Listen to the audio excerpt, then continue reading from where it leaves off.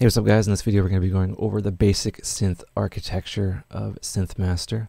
So what I'm going to do is I'm going to go new, reset preset, and this will just have a general sawtooth wave open.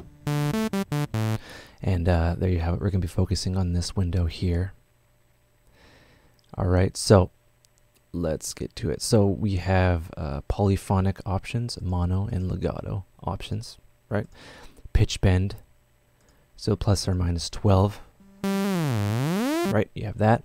Unison, each each uh, layer has its own unison mode, so you can have up to eight voices, and that's stacked up, and uh, you can detune them with the spread here.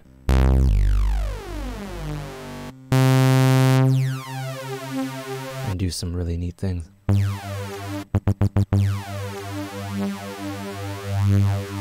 Right, there's that. I'm going to reset again. All right, cool.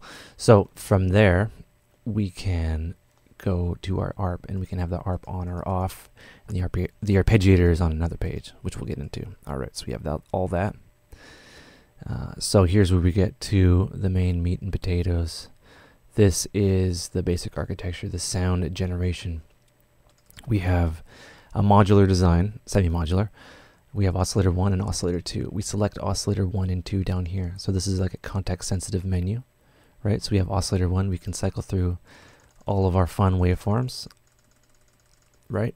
And uh, a lot of them have like really rich harmonics, and we'll get into that.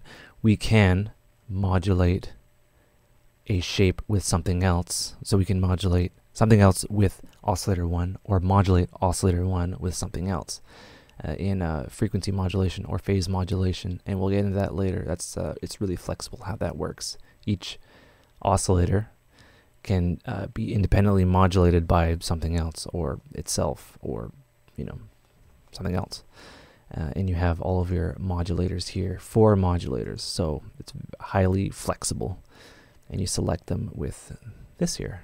Pretty fun, right? So we have our filter structure. There's a few options uh, we'll start with series.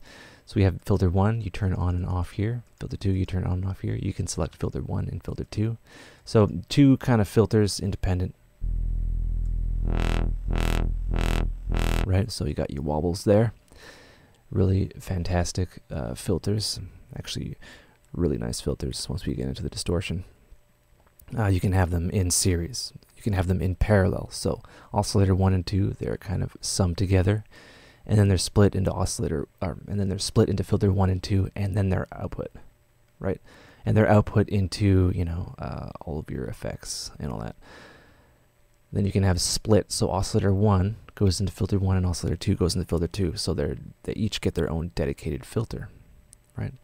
So from there on in, we have our distortion, our lo-fi, which is like a bit crusher sample rate reduction, ensemble, which is like a phaser, uh, chorus, uh, and our EQ, right? We turn these on or off. Again, semi-modular design. Turn these on or off via this, right? We have our tabs here, right? So let's, um, I have the arpeggiator written down here, so I won't get into that yet. We have our arpeggiator. You turn that on here.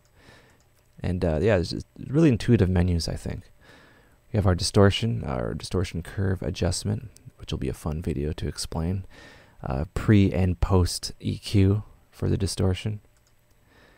Uh, lo-fi, so bitrate, uh, sample rate reduction, uh, cutoff. So another filter, and another kind of distortion curve here, and our phaser and ensemble, kind of chorusy type thing going on here, right?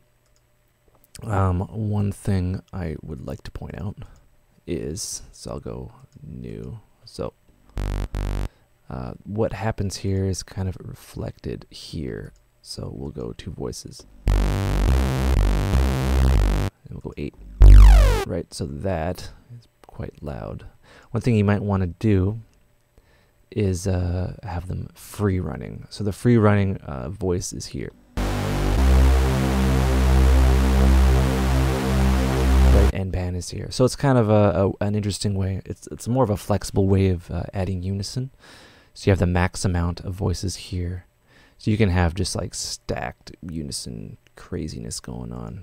Uh, and you can have each oscillator with eight voices.